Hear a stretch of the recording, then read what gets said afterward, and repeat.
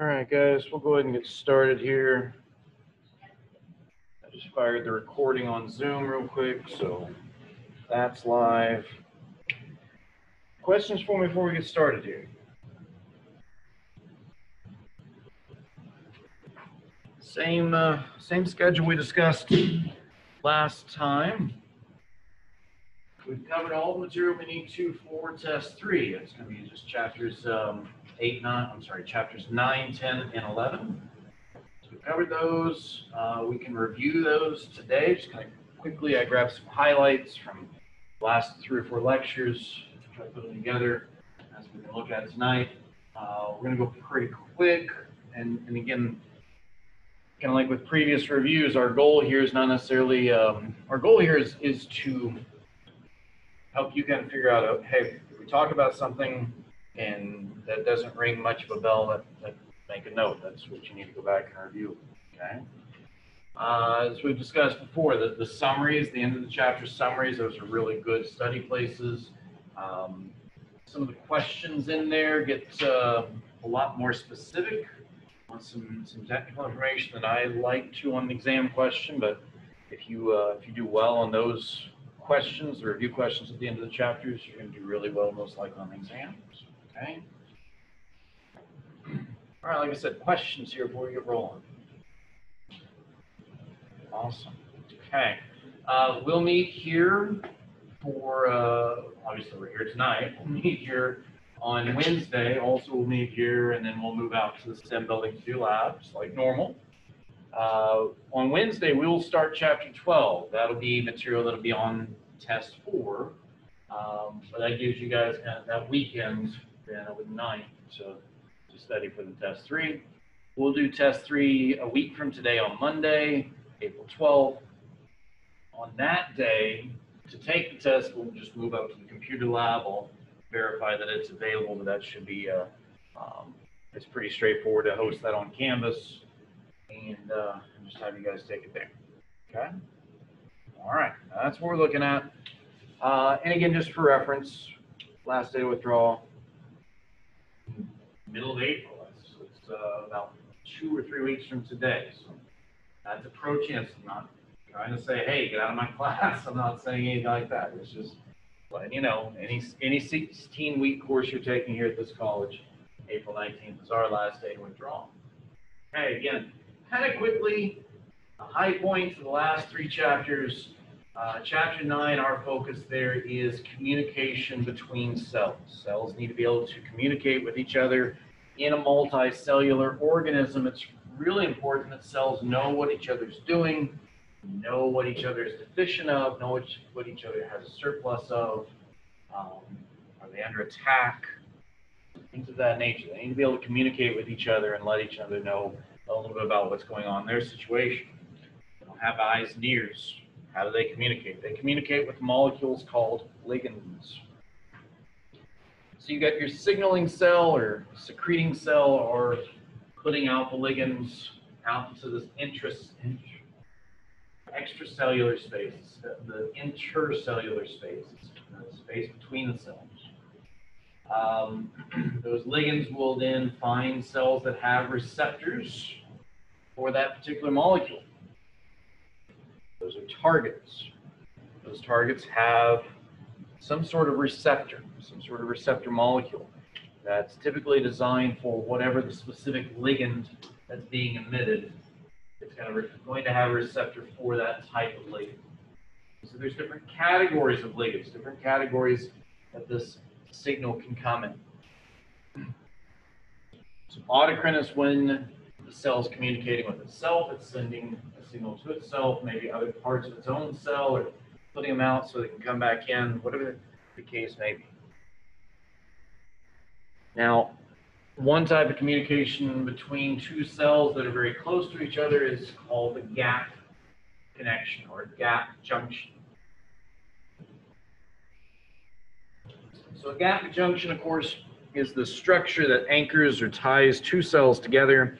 We see this a lot of times in plant cells. Those gaps allow nice little channels that they can move water and or other nutrients through very quickly from one cell to the next. They can also send signals through those channels, those gaps. paracrine, so autocrine, auto meaning self. That's the first category, is autocrine. Uh, paracrine, so crine referring to this communication within the body. Paracrine means those are two cells that are very close to one another and sending signals within very close proximity to each other. These signals have got to be degraded pretty quickly. It needs to be a pretty fast signal. Um, again, we need to degrade the signal. Whatever's in that space needs to be cleared out pretty rapidly because those signals may need to be repeated multiple times. And you've got what we call the endocrine system. Sometimes it's uh, hormones is kind of a nice way to think about that, where one part of the body, something's occurred at one part of the body, and it needs to tell some other part of the body that it needs um, a particular protein or uh, a particular, uh, whatever the case may be, some other chemical compound for function. Right? So um, the endocrine is where we send ligands into the bloodstream be delivered throughout the body so it will be received by whatever the particular target of that ligand may be. So if um, muscles are getting, uh, muscles are running out of oxygen, we'll say, they'll, they'll start sending out signals, put it in the bloodstream, and that tells the heart and the respiratory system to increase their intake, and that way we can get enough oxygen into the cells that need it, for example. Uh, your text talks about the adrenaline, and, and, just one more there on, on endocrine. Your text talks about adrenaline, where it basically, when adrenaline's sent out, that tells your body be ready for what we call the fight or flight response. Um, it tends to slow down your ability to think rationally, uh, and it, it speeds up the heart rate and gets your cells to generate lots of energy very quickly. I always tell my students it's really good if you're fighting a saber-toothed cat, not so good if you're taking a test. Find some way to kind of give your body a chance to flush some of that, that, um, that adrenaline from your system when you get uh, that fight or flight response. Sometimes you need to be able to think logically and critically. All right. So again, various types of signals, autocrine, paracrine, endocrine, and then gap junction. There are various ways that those signals can be sent, and there's various ways those signals can be received. Two main categories of these receptors, the way that the signals will be received. There's receptors on the surface of the cell. All these cell surface receptors, they are anchored into the plasma membrane somehow. if we've got a cell surface receptor, the ligand does not necessarily have to cross into the cell um, in order to deliver its message. It can just simply interact the, the exterior portion of the cell surface receptor and achieve its purpose. Message sent, message received. Uh, a lot of times these ligands for cell surface receptors, a lot of times the ligands actually can't get through the plasma membrane. They may be polar in nature, so the membrane is, is permeable to them. They're not permeable, uh, not permeable to. Uh, it could be large protein structures where um, you know, they're just too large to try to fit through the membrane. And whatever the case may be, most of the time a cell surface receptor, the ligands it receives, are not going to actually make it through the plasma membrane. As opposed to intracellular receptors, those are receptors that are inside the cell. That does require that those ligands must be uh, selected through the selectively permeable membrane. They, those ligands must be able to make their way through the plasma membrane into the cell to actually be received. Somehow they've got to be able to filter through that filter. Uh, common example, we mentioned RNA transcription triggers. So some kind of, uh, again, some kind of hormone or some kind of ligand, something that can be transmitted um, externally, outside of the cell, make its way through the plasma membrane, activate a receptor inside. A lot of times this is a, an RNA transcriptase or something like that, where uh, it initiates the process of copying the DNA to an RNA molecule. Because again, the DNA, unless the cell is going through mitosis or meiosis, we'll talk about in a little bit, the DNA stays in the nucleus, at least of eukaryotic organisms. The DNA is, um, if you know much about computers, think about the DNA is kind of like the hard drive. You might store stuff on the hard drive, and it doesn't normally come out unless you have to do something to get it out. Okay? So if I want to print something that's on my hard drive, I'm going to have to activate whatever some program to carry that information out of the hard drive so I can print it. Same thing here. Um, the DNA does not leave that nucleus. That DNA stays in the nucleus. Um, and then, uh, unless something causes it to come out. But we need a copy of the information to come into the cytoplasm so the ribosomes can attach and start building proteins. So again, common intracellular receptors are things that will go ahead and trigger that process of transcripting DNA to RNA so the ribosomes can go to work on.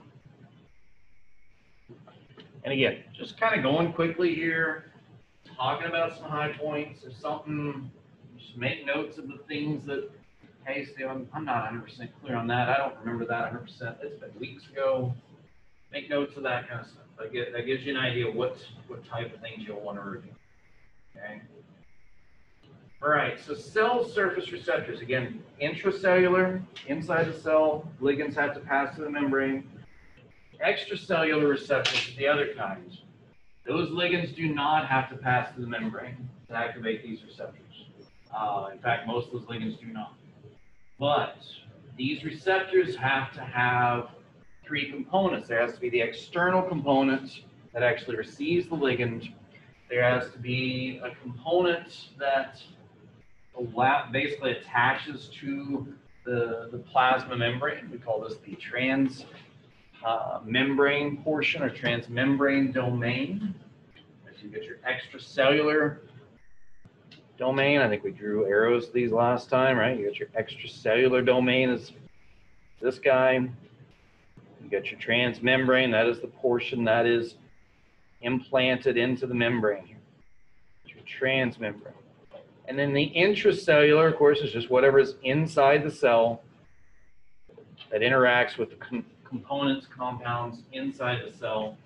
Um, the common thing that's going to happen is the ligand's going to hit the extracellular receptor. That sends a signal to the transmembrane domain. And then the intracellular domain then um, will, will go through a process we call phosphor phosphorylation where it's actually going to um, add phosphorus or, uh, to particular compounds, changing their energy, changing their shape, increasing the energy, and basically activating. All right, so what happens from there? Once that, once that uh, ligand activates um, the receptor, a number of things can happen. There's too many to try to to draw. We can point to some major categories, and that's what we'll do here is kind of point out some major categories, some, some common things that will happen.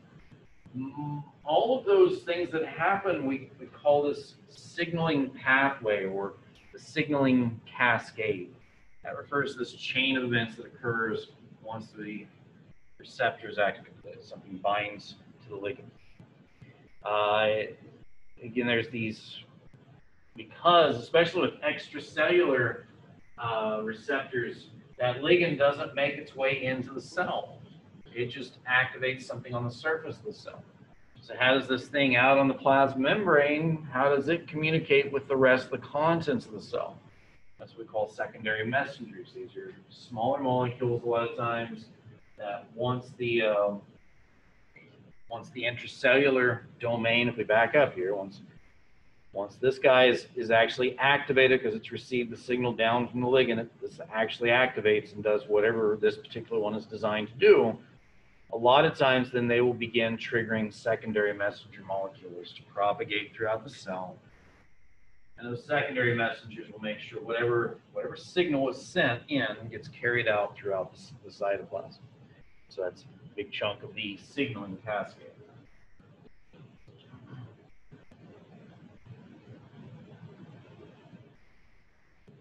We've already gone over this, right? Yeah, just review tonight. We're reviewing, and then Wednesday we're doing Shepherd's Falls, and then Monday we're Shepherd's Falls. Okay, so what happens after that's, again, after we've initiated the uh, signaling cascade, where do we go from there? Well, too many to count, common things that will happen is um, production of specific protein. Again, we talked about generating RNA, a copy of mRNA from a DNA molecule, and that's going to then begin some sort of protein to be produced. Um, we talked about, uh, you know, in, uh, the endocrine system. When we send adrenaline out, that tells all the cells to begin increasing their metabolism, be ready with a lot of stored energy. Um, something's about to go down. That's right. That's fight or flight mechanisms kicking in. Let's not think. Let's be ready to act. So just one example of what happens when, when the signal is sent out. Well, it, it depends on what the signal is, and it depends on what the, the body's reaction is going to be. Um, we've talked, you know, I know we've, now we've talked about chapters 10 and 11, we just kind of mention, all it's, that's how cells know that they need, to- a lot of times that's how some cells will know that they need to begin reproducing, they need to begin dividing. They're receiving a signal from other cells around them, or maybe they're not receiving a signal from other cells around them, right?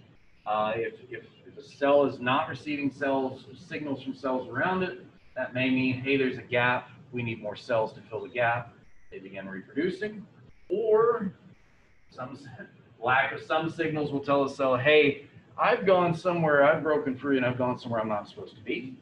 Right? In, in the case of, of like tissue cells, um, if part of a tissue gets swept into the bloodstream to other parts of uh, other organs or other parts of the body, that cell is no longer receiving signals from the other kidney cells, whatever it happens to be. And that will sometimes trigger apoptosis, the cell will basically self-destruct. It's no longer needed wherever it happens to be for whatever reason. All right, who's been reading their book? What's this? Tell me what's happening here. I didn't mention this in the lecture. That's kind of important. We're running out of time. What is this? You guys are not reading your books. it's yes, it's a synapses. That's okay. That's okay. This is this is a synapses. This is the gap between the two cells. I've got two neuro, um, two neuron cells essentially. Right? You've got two cells. One is sending a signal to the other. Okay. So what happens is in, in nerve cells, they will, and the signal gets sent fast, very, very quickly, because it needs to be repeatable. Um, so the signal gets sent very quickly. The neurotran, what we call the neurotransmitter, that is the ligand that gets sent from one cell across a synapses to the other one. And then you've got these enzymes floating around, clearing the space out, that signal needs to be possibly repeated again very quickly. The neurotransmitters that, uh, that don't get bound to the, the other side of the synapse, um, they've got to be cleaned out. And then what happens is when those, when these neurotransmitter ligands do uh, connect to the receptor, what that does is that change that creates basically an electrical charge that gets transmitted throughout that receiving cell. And that charge hits and releases neurotransmitters at the other end of that cell. You have a chain of these cells sending one signal right after the other rapidly. Uh, your text gives the example of when you when you touch a hot surface, your brain needs to know that information very very quickly that information from those those nerve those sensors on your finger whatever's touching that hot surface they need to tell your brain very quickly fire the muscles pull those things back we're going to lose finger if we're not careful so it has to happen very quickly what do you think So autocrine, paracrine, endocrine. What are we looking at here? Paracrine. You have cells right next to each other, communicating very rapid information that it, and because they're so close and we need to maintain a gradient so that signal can be transmitted very quickly, we've got to clear that signal out. As opposed to endocrine, where we can just kind of flood the system with the signal, make sure it gets to the right place. The paracrine, it has to happen quickly, it has to be cleared, so it's ready to reset. Autocrine, again, is, is communication within the same cell. All right, we mentioned just a little bit here, just a couple of terms about uh, communication between bacteria. The, your ligands, essentially, your, your are the, we call them autoinducers. That's, uh, those are ligands essentially that have been sent from one bacteria to another to communicate about uh, presence, availability resources, conditions, there's a term we've used in biology for quite some time called quorum sensing, and that refers to a quorum, a group of individual bacteria when they need to be able to communicate with each other so they don't utilize all of their own resources and starve each other out, things of that nature.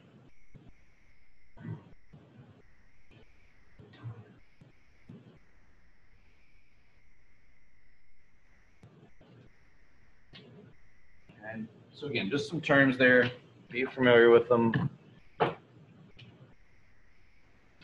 We did mention the term biofilm. Just be aware of what a biofilm is. There's a lot of stuff. If we watch this video, there's a lot of really good stuff there. I'm not going to test you over the stuff in the video. Just this this term here. Just be aware of what a biofilm is. It's a fairly recent discovery uh, within biological sciences. Just need to be aware that it's a thing. Okay. All right. I think that is most, yeah, that's most of the critical stuff in chapter nine. I'm sure I've missed a few things in there. Um, check the chapter summaries, check homework, check quizzes. Uh, these are all kind of nice places to start. Text, rewatch the videos if you need to. Again, we're just trying to hit some high points today. All right, so chapter 10, we talk about what we call the cell cycle, specifically working our way up to mitosis, or reproducing clones or a, a, an exact replica of the existing cell. So, as we've just seen, most of the time there, there, there either has to be a signal or an absence of a signal telling the cell, hey, we need more of you, get to work. Um, that's what will have to happen. Now, for a cell to to divide, for a cell to go through the entire cell cycle and reproduce, uh, it's got to copy everything. Copy everything. The DNA is, is what we'll kind of focus on in the process of, of making sure that each new cell gets the right DNA. That's, that's really what we'll focus on. But again, the organelles, all the components within the cell, those all have to be copied as well. But if the DNA is not there, there's not information on how to generate the proteins necessary to create those organelles. So that's the reason we'll focus on those. Okay. There's a little song here. I tried to sing it to my wife and she was not impressed, so I'm not gonna sing it to you guys. Okay. Um, but yeah, the, the structure of how is DNA. We we think about chromosomes. I think it's one of the next slides here. We think about chromosomes as being DNA, and that is true, but we don't normally see DNA in this chromosome form, with the exception of when we're, we're going through mitosis, we're creating more cells. Um, most of the time, the DNA is kind of in this chromatin, somewhat condensed form. But again, we spent a lot of time, we talked about you know, in a human cell, there, this is about a this is a meter, not about, this is a meter. It's about a little more than three foot. There are two of these. If you stretch all the DNA in your cells out, there are two of these long of DNA, roughly. Okay, that's huge. It's massive amount, and we can't just leave that just floating freely in these cells that you can't even see with the naked eye. They can't just be free floating in there. We, we have to somehow organize those down to be able to manipulate. Well, there are these proteins we call histones that help us build a structure upon which we can organize DNA. So you have histones where you've got DNA wrapped around the histones, that generates a nucleosome. you get a chain of nucleosomes together and they form a nice kind of spindle of chromatin. And you continue to wrap that chromatin and pack it around some other proteins, and that will eventually generate this structure we call the chromosome, where all those all those DNA molecules are wound up as tight as we can, won't say as tight as we can get them, incredibly tight. And again, we think about the chromosome as this unit of DNA. And it is when, and especially whenever the cell is being divided. That's how your your cells and all cells figure out do they have the exact same copies of DNA for each for each individual new cell. They condense them down into chromosomes. So that is how your cell will ultimately organize the DNA. The DNA. But again, just just understand, do understand, it's not normally in chromosome form because it's you, your cells need to be able to read the information stored in that DNA, and it can't get the enzymes in there to open the DNA up and copy RNA from it when it's all tightly bound up into a chromosome. Um, we have this thing we call homologous chromosomes. That's where you've got two chromosomes. There's a pair of them. Um, and basically, it's one from the father and one from the mother. Right? So those two together forms a homologous pair of chromosomes. So each organism, each species has a particular number of pairs of homologous chromosomes. We said humans have 23 pairs of homologous chromosomes. so it's 23 pairs. That's 46 chromosomes that a human cell is going to have 23 from the mother, 23 from the father. And in, in all 46 of those chromosomes have to be copied before a new cell can be produced. This occurs during, we'll look at the phases here in just a second, this occurs during what we call S phase, where the individual chromosome gets copied. Keep the two copies together. We join them with this structure, as protein structure we call the centromere. The two copies joined together at the centromere gives this classic X shape that we see most chromosomes in. This happens to be a Y chromosome, we'll talk more about in chapter 12. And again, confusingly, we call a single chromosome a chromosome. We call a joined pair of duplicated chromosomes, we call that X shape, we call that a chromosome. But the individual legs of that X we call chromatids when they're copied and joined together. And then once they get separated, once the cells are ready to completely separate, those separate into two different, now identical copy chromosomes. Okay? So again, the cell cycle, start with this, we call the interphase. Interphase has three major components. This is where most of the, the cell typically spends most of its time in this interphase portion of the cycle. Uh, interphase is broken up into three parts. First gap, the G1, is where we're just making sure we have enough energy to actually proceed with the process of copying everything. So not only do we need um, enough energy to go through that process, we also need to make sure we have enough of the larger macromolecules we talked about earlier when we talked about you know, in, in um, the chemistry portion of the text. Those molecules are not cheap. They take energy to put together. We have to make sure we have enough of those molecules or enough energy to construct them as we go. So all the lipids, all the nucleotides, generate all the nucleic acid we need. It all requires energy.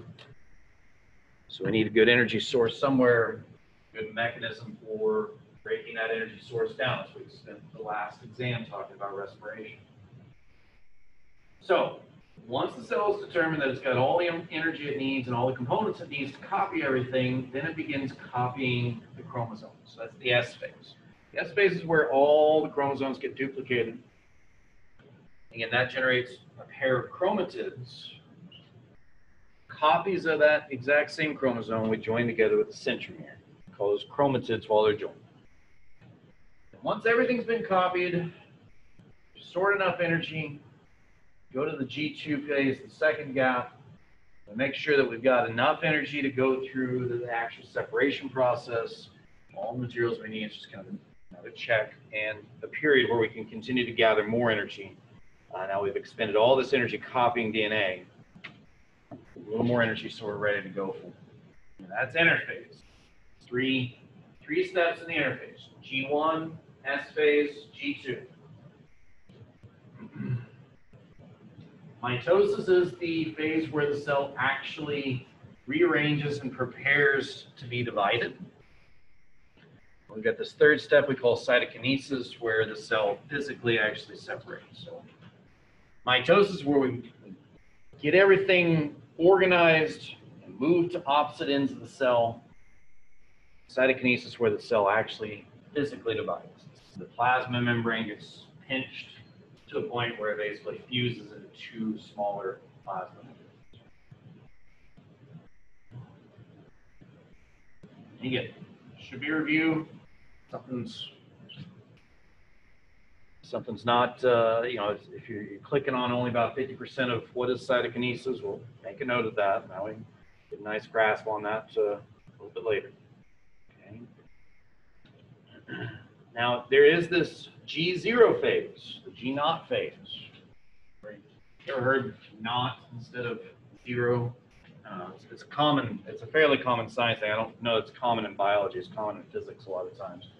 If you see G0, you say G0, you can say G naught. So if I, if I, if you catch me saying G naught phase or, or not for zero, that's what I'm talking about. Uh, the G0 phase, that is where the cells basically kind of, for whatever reason, it's received a specific signal or, or is lacking a specific signal to proceed working its way to mitosis. It's just happy to, to survive in its current state.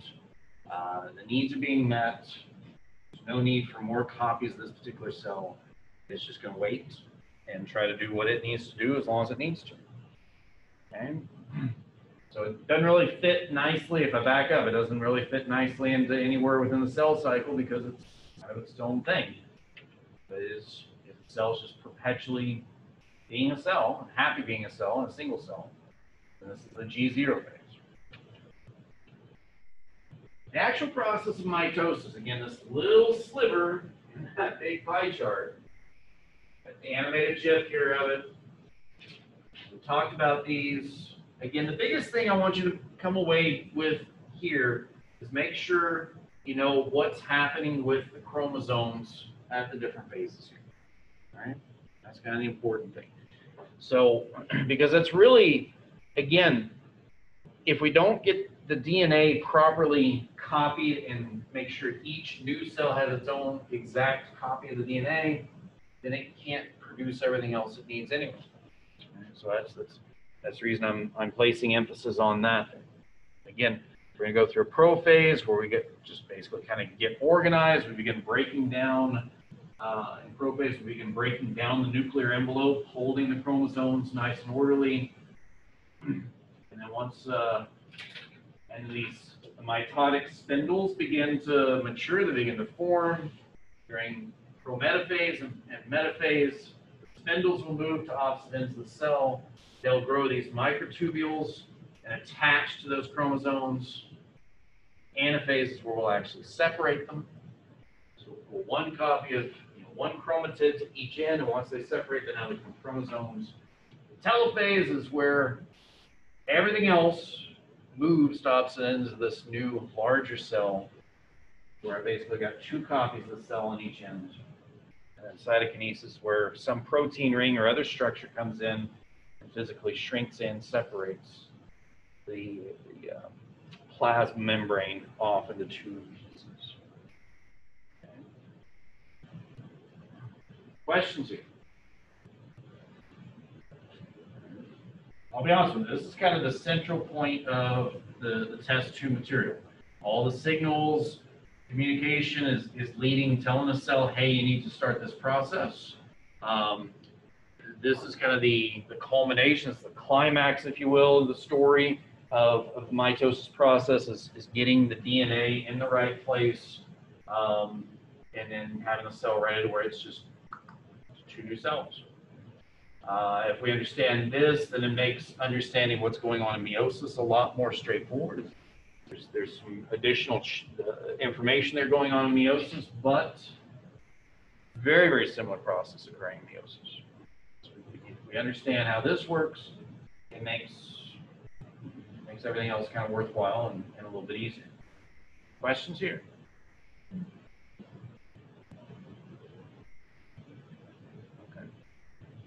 No problem if there are. Let's get them out. All right, well, email me if things aren't, aren't clear.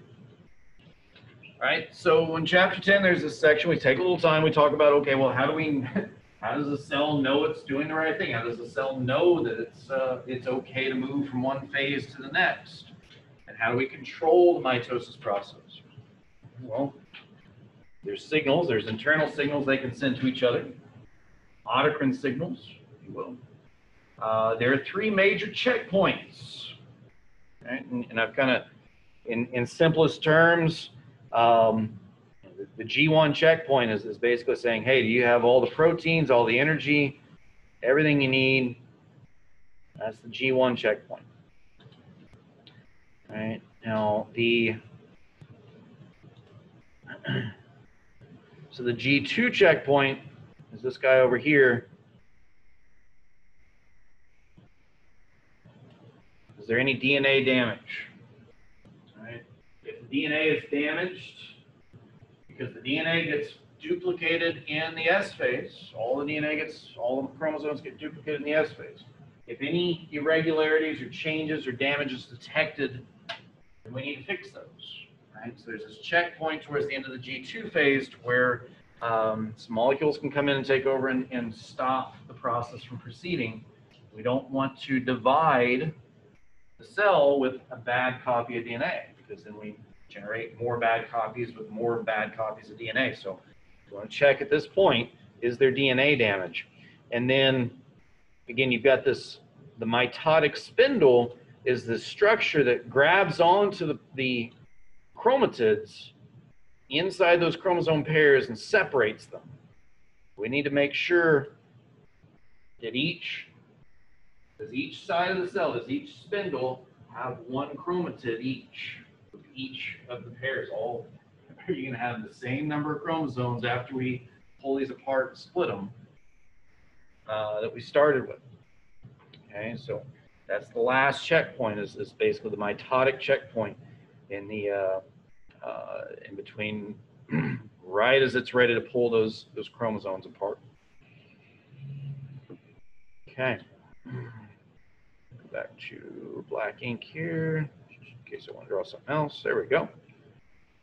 So how has that regulation occurred? Well, for regulate, how is this process regulated? I mentioned there's two main, I call them flavors, there's two types of regulation. We have what we call positive regulation. That is where some signal, ligand, if you will, gets transmitted throughout the cell and says, "Hey, we're, we are we're good to go. We're ready to proceed. Move on to the next move on to the next level." You hit the save point. Those of you who played games, you hit the save point. You made your own save point. Um, Negative regulation, if that's positive regulation, let's move on. The negative regulation is probably pretty self-explanatory. That's something that causes the cycle to halt. We didn't, we hit the checkpoint, we didn't complete all, all the, the checklist. We need to fix something else. We talked about a couple of uh, molecules, um, the RBP53 and the RBP21. That is their job to, if they detect damage in the DNA, it's their job to stop the process and recruit, your text says recruit enzymes necessary to, to repair the DNA. Uh, we mentioned that those are tumor suppressor molecules because their, their job is to not let uh, a, a, daughter cell be produced that has damage in its DNA because that damage in the DNA then uh, can cause other damages or allow other damages to be propagated. you know, there's, uh, one thing we'll talk about is there's always mutations occurring within DNA, and, and a lot of a lot of it will get caught, sometimes fixed. but over time, those, those mutations can add up. Um, and we talked about cancer, and we talked about, you know, some causes of cancer, and a lot of times, a lot of causes of cancer are um, damage done to the DNA that codes for these two proteins, RBP53 and RBP21.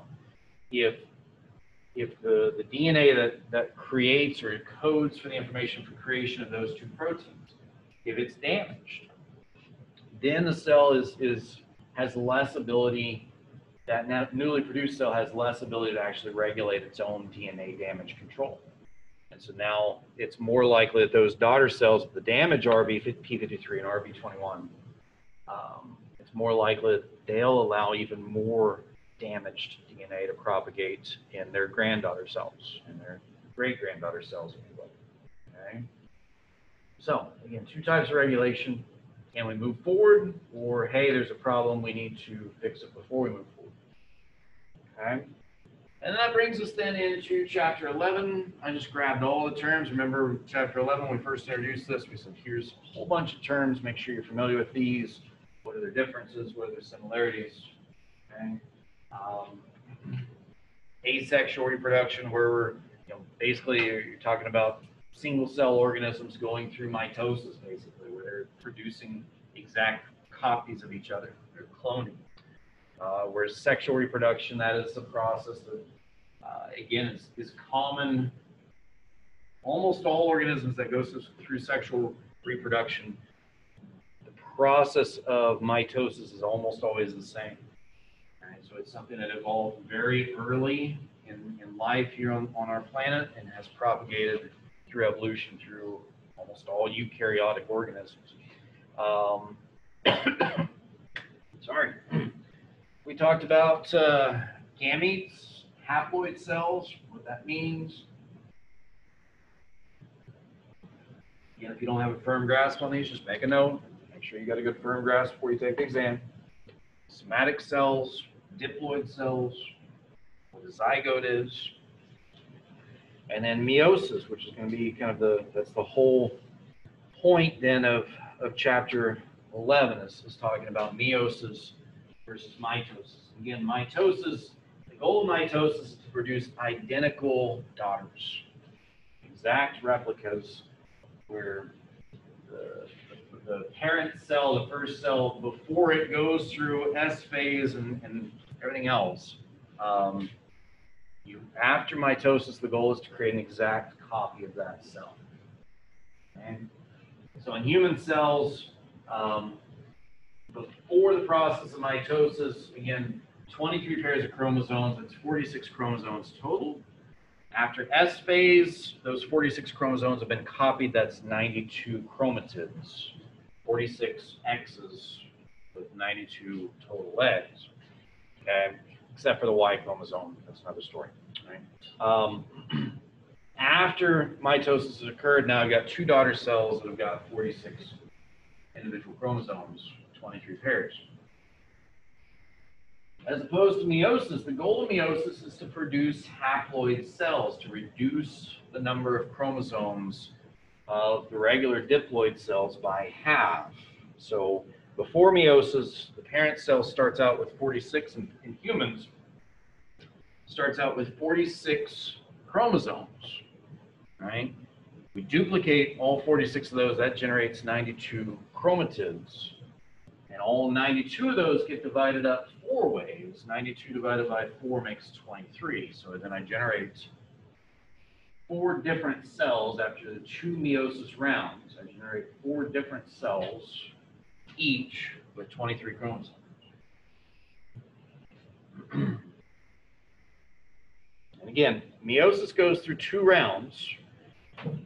Similar mechanisms to what we saw in mitosis. In fact, we give most of the processes the same name. Okay? So you're still going to go through an S phase one, a G phase one, an S phase one, and a G phase two. And during S phase one, all of the chromosomes get duplicated. So again, now I've got 46 chromosomes. They've all been duplicated. That makes 92 chromatids. During prophase one, and again, we, we mentioned, let's see what have I got here. Yeah, okay. we mentioned um, that these the the pairs, the homologous chromosomes, where you've got one from the father and one from the mother, in meiosis, in meiosis one, those chromosomes actually will fuse together. They'll join, they won't fuse, but they'll be connected together and held together. They'll sort out to where they're actually held together. During mitosis, those homologous chromosomes, they can be anywhere. They, they don't have to be joined, but in, in a meiosis process, they have to be joined together for some a very specific purpose we're going to talk about in a second. Uh, and then for metaphase and for anaphase, um, for anaphase one, because the goal here is to reduce the number of chromosomes by half, you have 46 chromosomes. They're, they're paired replicated chromosomes, but they're still chromosomes. 23 of them, half of them, go to one side of the cell and the other half goes to the other side of the cell. And it's random as to whether, you know, um, it's not going to be all of the paternal, all the father chromosomes are going to go to one side and all the mother chromosomes are going to go to the other side. It's, it's random how they get shuffled. So each, each cell will end up with some father chromosomes and some mother chromosomes. And those two will get, those two cells will get split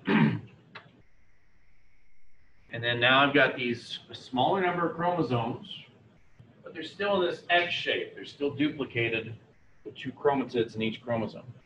Meiosis two is where those chromatids get pulled apart into individual chromosomes.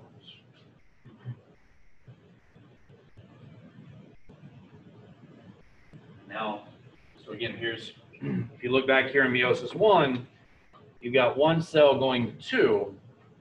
Go to meiosis two, now I've got two identical cells in meiosis two that are going to get split up again.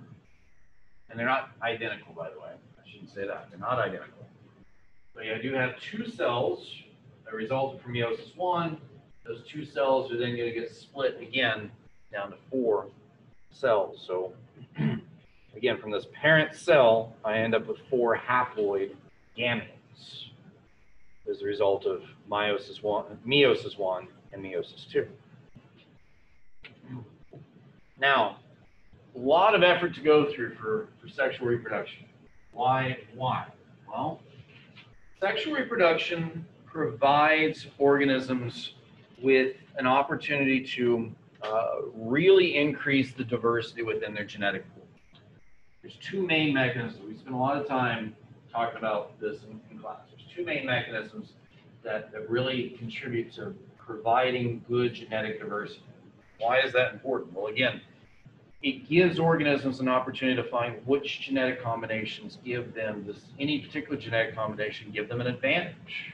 And is there, um, essentially Darwin observed that um, particular beak shapes, for example, would give birds an advantage over a particular food source that was readily available. And so by allowing the organisms to mix and match their genetic codes, it allowed different beak shapes to emerge, and different beak shapes were better at getting a particular food than other beak shapes.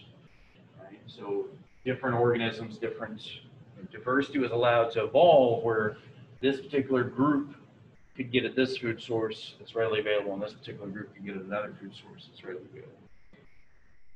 Meiosis allows or contributes to the possibility of that diversity and allowing organisms to, to thrive or evolve in a particular direction. How does it do that? Well, there's two shuffling events essentially. And there's two things that allow shuffling. Again, we talked about in meiosis one, the homologous chromatids from the mother and the father cells will be held together very closely. This doesn't occur in mitosis, it only occurs in meiosis one. So all the, the number one chromosomes, one chromosome from the father, one chromosome from the mother, they're held together with these protein structures, and they're allowed to swap information.